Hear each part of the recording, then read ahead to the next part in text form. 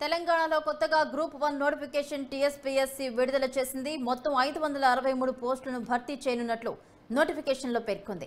ఈ నెల ఇరవై మూడు నుంచి మార్చి ఇరవై నాలుగవ తేదీ వరకు అభ్యర్థుల నుంచి దరఖాస్తులు స్వీకరిస్తున్నట్లు వెల్లడించింది. గతంలో పలు కారణాల వల్ల రెండుసార్లు గ్రూప్ వన్ పరీక్షలు రద్దయ్యాయి. కాంగ్రెస్ ప్రభుత్వం ఏర్పడ్డాక టీఎస్పీఎస్సీ బోర్డును ప్రక్షాళన చేసి కొత్త చైర్మన్తో పాటు సభ్యులను నియమిస్తూ నిర్ణయం తీసుకుంది రేవంత్ రెడ్డి ప్రభుత్వం.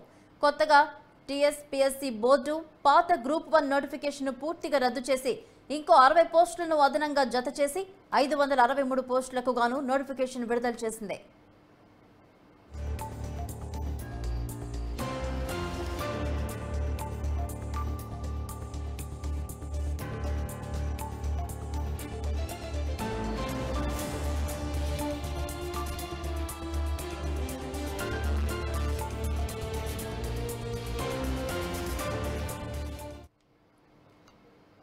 ఇదే అంశంపై మనతో మాట్లాడడానికి ఏఎస్ఎఫ్ఐ లీడర్ ఉదయ్ కుమార్ లైన్లో సిద్ధంగా ఉన్నారు. ఉదయ్ కుమార్ గారు నమస్తే అండి.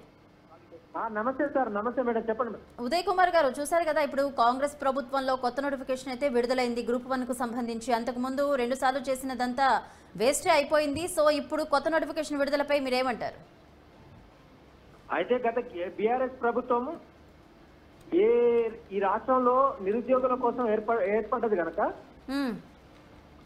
ఆ నిరుద్యోగులను దగ్గరికి రానియకుండా వాళ్ళ నోటిఫికేషన్లో తప్పిదాలు ఇచ్చి వాళ్ళ జీవితాలతో చెలగాటమాడి గత పది సంవత్సరాల నుంచి దుర్భర పరిస్థితిలో నెట్టవేయబడి వాళ్ళ యొక్క జీవితాలనే ఒక మనిషిని మనిషిగా చూడలేనటువంటి దుస్థితిలోకి నెట్టేసింది కాబట్టి ఆ నెట్టేసే క్రమంలో నిరుద్యోగులందరూ కలిసి బీఆర్ఎస్ను కాలపగర్భంలో కలిపేసి కాంగ్రెస్కు అవకాశం ఇచ్చింది అవకాశంలో భాగంగా ఆ అవకాశంలో భాగంగా ఇవాళ కాంగ్రెస్ ప్రభుత్వము గతంలో గ్రూప్ వన్ రెండు సార్లు రద్దయింది కనుక మళ్ళీ ఇప్పుడు ఆ తప్పిదాలు జరగకుండా కట్టుదిట్టమైనటువంటి భద్రతా ఏర్పాట్లు చేసేటువంటి ప్రయత్నం జరగాలి. ఇవాళ త్రీ సిక్స్టీ ఛానల్కి నేను ప్రత్యేకమైన ధన్యవాదాలు ఎందుకు తెలియజేస్తున్నంటే ఈ రోజు నోటిఫికేషన్ వచ్చింది కాబట్టి ఈ రాష్ట్రంలో ఉండేటువంటి అధికారులకు కావచ్చు కాంగ్రెస్ ప్రభుత్వానికి కానీ మన త్రీ సిక్స్టీ ఛానల్ నుంచి ఏ చెప్తా మేము విజ్ఞప్తి చేస్తున్నాం. సార్ నిరుద్యోగులను నాశనం చేసి వాళ్ళ జీవితాలతో చెలగాటమాడిన బీఆర్ఎస్ ప్రభుత్వం పేరు మీద వాళ్ళు ఓడిపోయారు కాబట్టి మీరు గెలిచిరు కాబట్టి అక్కడ ఎన్ని తప్పిదాలు జరిగినాయి? పేపర్లు ఎందుకు లీక్ అయింది?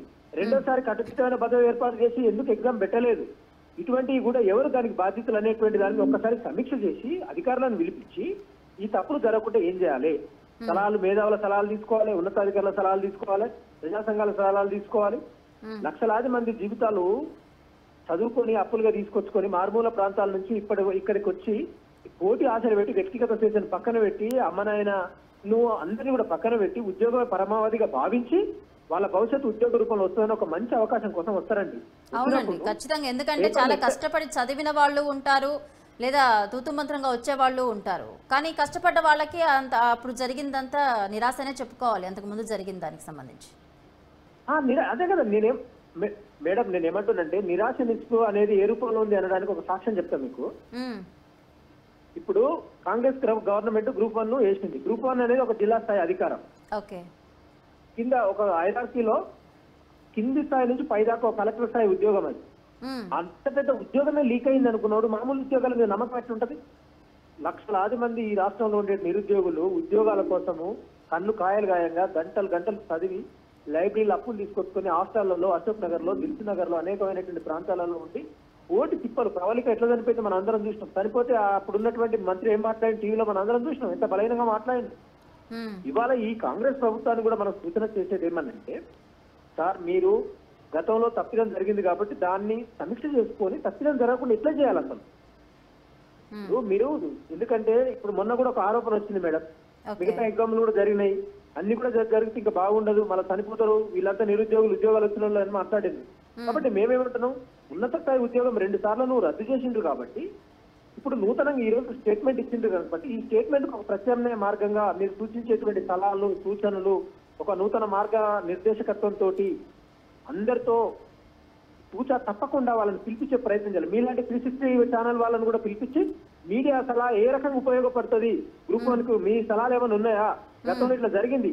ప్రతి ఒక్కరికి బాధ్యతాయుతంగా గురుతర బాధ్యత పైన మళ్ళీ మంచి ఏ ఎటువంటి తప్పిదం లేకుండా ఎగ్జామ్ నిర్వహణ జరగాలనే ఉస్మానియా యూనివర్సిటీ నుంచి ఏఎస్ఎంగా మేము తెలియపరుస్తా ఉన్నాం. ఖచ్చితంగా అండి. ఖచ్చితంగా త్రీ సిక్స్టీ న్యూస్ సపోర్ట్ ఖచ్చితంగా ఉంటుంది. అలాగే ఇప్పుడు కొత్త ప్రభుత్వం గ్రూప్ వన్కు సంబంధించిన నోటిఫికేషన్ విడుదల చేసింది కాబట్టి దీనిపై మీరు ఏమంటారు ఇప్పుడు మరి?